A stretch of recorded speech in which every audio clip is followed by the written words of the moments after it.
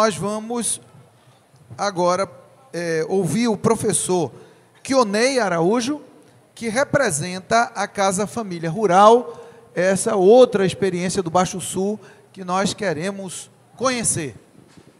Aplausos, gente. Bom dia, bom dia a todos e a todas.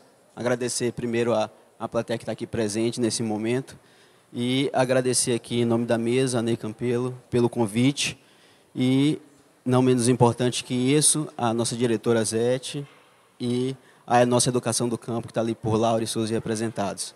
Tá?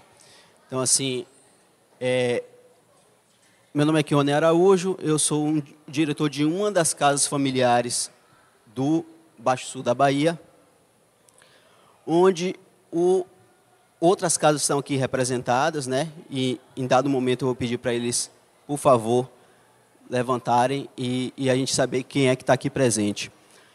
Na verdade, o objetivo da casa familiar, né? Quem somos, a nossa missão, o nosso objetivo é de formar jovens, tá? Todos filhos e filhas de agricultores familiares, com o objetivo de permanência no campo, numa, na agricultura familiar, né? De forma integral e contextualizada. Esse é o objetivo maior. As casas aqui representadas, é, elas estão aqui com a Casa Familiar de Presidente Tancredo Neves, onde eu faço parte, onde estou presente. A Casa Familiar das Águas, que é representada por Adriana. Levanta aí, Adriana, por favor. Que cada um tem um, um foco direcional, mas que o objetivo continua o mesmo.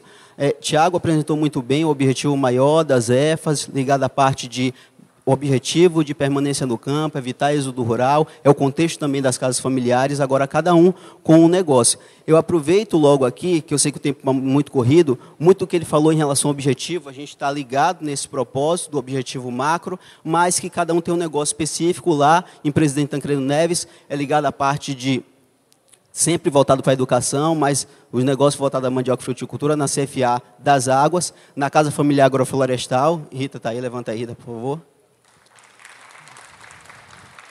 Ligado ao manejo da agrofloresta de uma maneira geral, e a Casa Familiar Rural de Grapiúna, que é uma casa rural também, muito voltada para a questão do palmito de pupunha.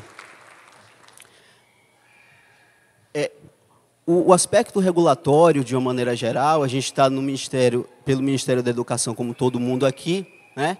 e da Secretaria do Estado, que a gente sempre é, agradece, de acordo com essa parceria que nós temos de uma maneira geral. Né? É, e, eu, e, mais especificamente o Conselho Estadual, a, a, a, nossa educação do campo, que é a unidade que está junto com a gente nesse propósito. Hoje as casas que são certificadas e regularizadas são, são três casas, é a Casa Familiar Rural de Tancredo Neves, a Casa Familiar Rural de Grapiona e a Casa Familiar Agroflorestal.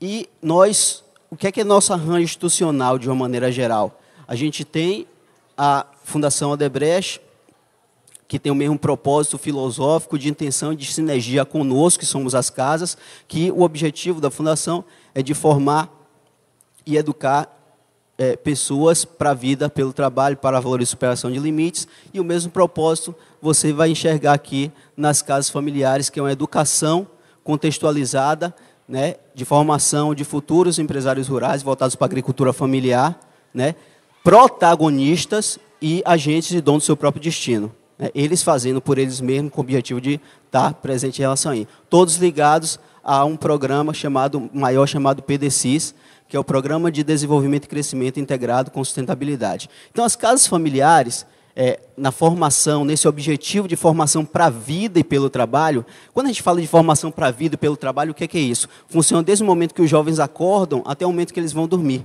E a preocupação com outras pessoas também que estão ao seu lado.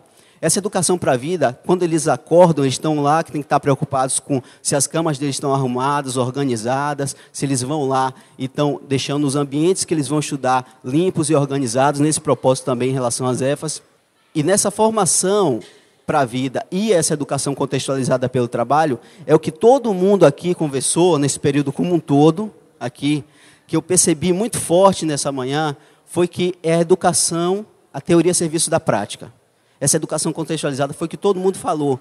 Quando a pessoa vai lá e pega esse conhecimento, aplica ali na prática, aprende mais, se motiva mais a fazer, se motiva mais a realizar, e esse contexto é muito forte em relação às casas como é de fazer, pegar a teoria a serviço da prática. A gente às vezes comenta muito, isso é um parênteses aqui, a gente comenta muito de que é, a gente está lá, na, não precisa estar tá na sala de aula para a educação acontecer. A gente pode estar tá no campo e a educação está acontecendo lá no campo. Não adianta a gente pegar, entrar numa sala lá e falar o seguinte: trigonometria, fala das figuras geométricas, às vezes você não está entendendo nada e às vezes está balançando a cabeça que está entendendo, essa não é a lógica. Quer aprender trigonometria? Vamos no campo. Como é que mede uma área circular, triangular, quadrangular? É dessa forma. Como é que é, a gente vai estudar química, reação de neutralização? Aplica calcário no solo, é assim que você entende a reação da neutralização aqui. Então é tudo aquilo que eles já fizeram, que eles estão fazendo, que eles vão fazer, que potencialmente eles acabam querendo mais esse conhecimento, essa busca, porque eles sabem que tem um propósito lá no campo e aplicado na prática. Então, esse contexto maior de educação para a vida e pelo trabalho. Dentro da educação contextualizada, é, base para o presente e para o futuro, a geração de trabalho e renda, de uma inclusão socioprodutiva, é, através do que a gente chama de projetos educativos produtivos. Eles desenvolvem os jovens junto com as famílias, né? e nesse contexto a família ela está presente como um todo, como uma base principal.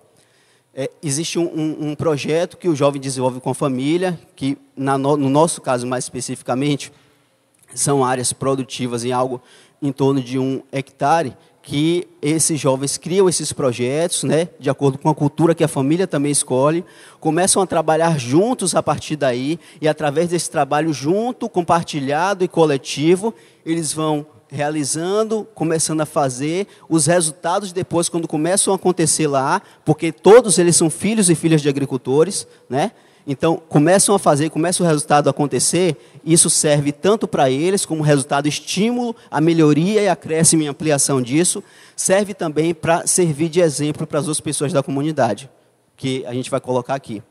É, em relação à parte da cidadania, que o mais importante às vezes a gente pega e fala que o conhecimento é importante para a gente, o conhecimento é importante para a gente, mas é, a gente vai ver até um pouquinho depois que essa questão de pegar o que você aprende e levar para outra pessoa cria um senso de responsabilidade em cada um, que ele está preocupado com o crescimento do outro, com o crescimento de outras pessoas da sua comunidade, através do exemplo, através de seminários, dia de campo, palestras, que isso serve e cria um compromisso moral com ele, de fazer com que essas pessoas também cresçam e desenvolvam lá na comunidade, no espírito cidadão. E respeito ao meio ambiente, a conservação dos recursos naturais envolvidos aí como um todo, de trabalhos que são voltados para a preservação das nascentes, para não acontecer os desmatamentos, para orientar essas pessoas através desses dias de campo, palestras e seminários que a gente chama de ações nas comunidades. Tudo isso que a gente está falando, claro, pelos objetivos de desenvolvimento sustentável do milênio de uma maneira geral, no, no item 4, né, da educação de qualidade, mas todo um contexto aí,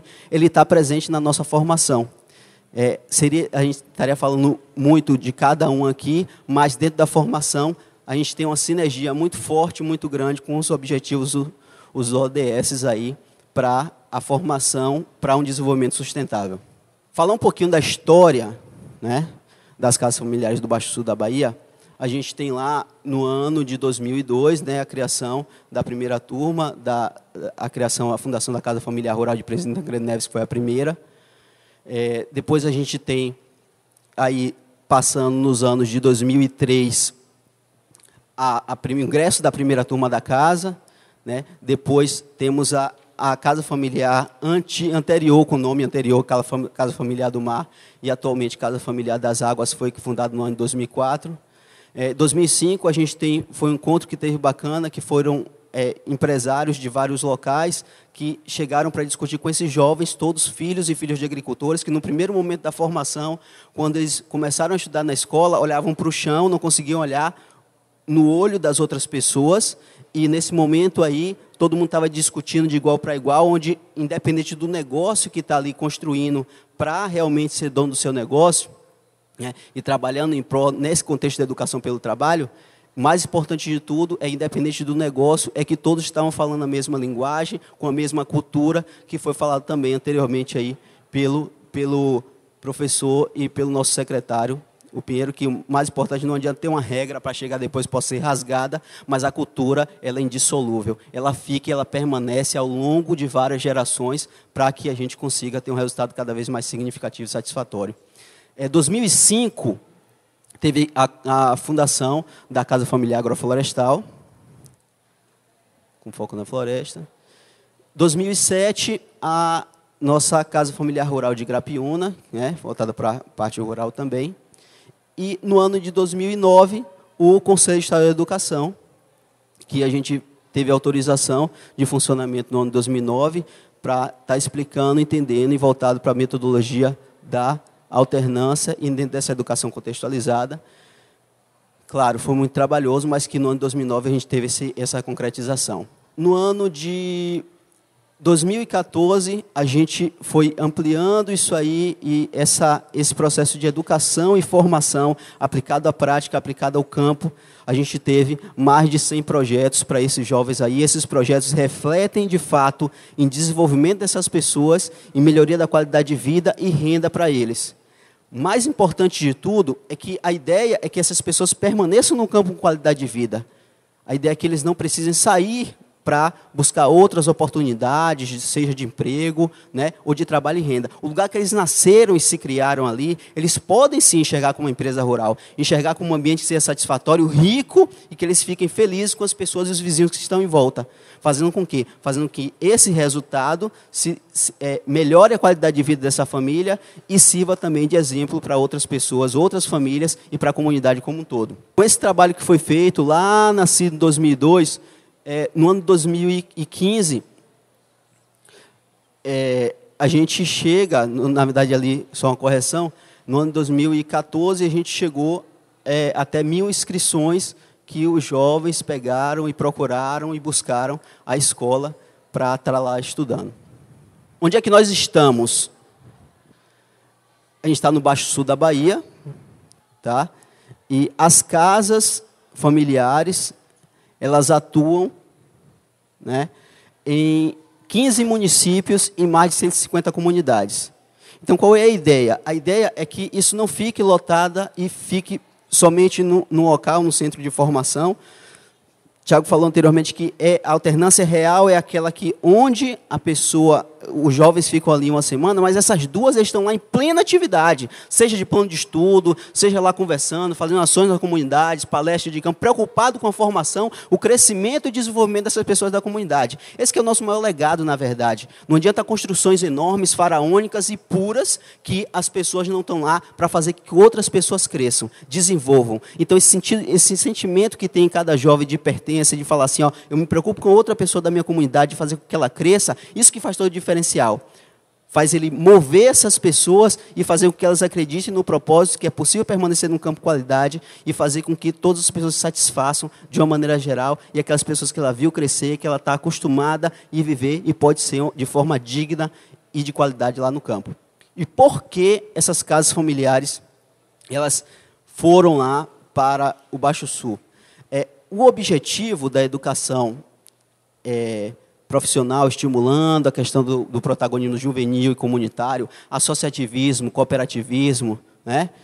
e produção sustentável ligada à parte do meio ambiente, porque foi se instalar com esse objetivo macro. Porque a gente tem uma alta biodiversidade, uma rica biodiversidade no local, a gente tem recursos naturais abundantes, né? a gente tem é, é, uma economia de base rural, tem uma potencialidade muito grande a nível econômico, as pessoas querem isso sim, tem um potencial humano bom, é uma população rural expressiva, diferentemente de muitos lugares, lá tem mais de 60% da população é rural, dos municípios de uma maneira geral, e, e existência de diversas cadeias produtivas com, potencial, com potenciais. Ou seja, é, o que precisava, na verdade, eram essas oportunidades que transformam. É essa educação contextualizada para transformar. Isso a gente tem visto cada vez mais esse crescimento em, em todos os locais onde é, essas escolas estão presentes de formação por alternância.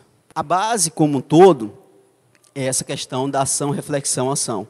Ou seja, teoria serviço da prática. Funciona, por isso que a gente começa ali falando que é, é, a metodologia voltada para a pedagogia da alternância, o primeiro contato começa no espaço familiar, começa na família. Lá começa a discussão, a conversa, o diálogo de acordo com as realidades empíricas e potenciais que tem dentro da própria família. Essa discussão é rica e importante. Ficam por duas semanas lá e uma semana lá no centro de formação, né? lá na escola. Manhã, tarde e noite, elas estão teóricas quanto práticas. E nesse processo que a gente tem essas três semanas, duas semanas lá na propriedade e uma lá nesse centro de alternância, é isso que a gente chama esse conjunto de alternância. Então, esse período eles ficam uma semana lá, duas lá na propriedade. Todas essas têm trabalhos a fazer, atividades a serem realizadas e o mais importante de tudo, nesse período os monitores são educadores, eles vão fazer esse acompanhamento para esses jovens que estão lá em formação. Como é um período de 15 dias que fica, então todos os educadores vão lá a cada três semanas conversar com a família, que é a base de tudo conversar com a família, para estar tá lá educando presencialmente, para estar tá lá perto presencialmente e falando como é que está a vida dele também do filho na escola, de que forma a gente pode melhorar, de que forma a gente pode potencializar e melhorar cada vez mais esses resultados. É, no ano passado, a gente foi certificado pela Unesco, pelo Programa de Escolas Associadas da Unesco, onde é, a gente tem a Casa Familiar de Presidente Tancredo Neves, a de Grapiúna e a Agroflorestal ali, como é, as três escolas daqui, uma das três escolas das 300 do, do Brasil, que fazem parte do programa de escolas associadas de processo de desenvolvimento sustentável, comunga no objetivo sinérgico com a Unesco também. E nossos parceiros, de uma maneira geral, eles estão aí. Aquela questão do conhecimento que tem que ser aplicado na prática, a gente tem contato com todas essas pessoas, com a Embrapa, com a CEPLAC, com o SEBRAE, com, com a Fundação Banco do Brasil, com o BID, com o Senar, com a FRB, com a Universidade da UESC.